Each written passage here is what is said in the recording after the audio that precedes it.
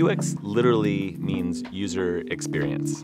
And that's what I like to think about it as just the whole experience that the user has when they interface with your product or idea or brand or whatever it is. And so it's not just about the pixels that they're touching, it's about the way that they feel when they think about who you are or what you represent.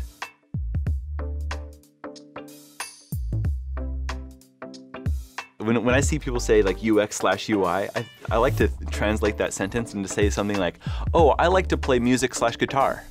And, and, like that's not really a way that we talk normally. So a UI is a part of the user experience, right? It's the it's the interface that somebody is touching and interacting with. Maybe it's the voice, right? Maybe maybe it's a gesture. Maybe it's a, um, a virtual experience.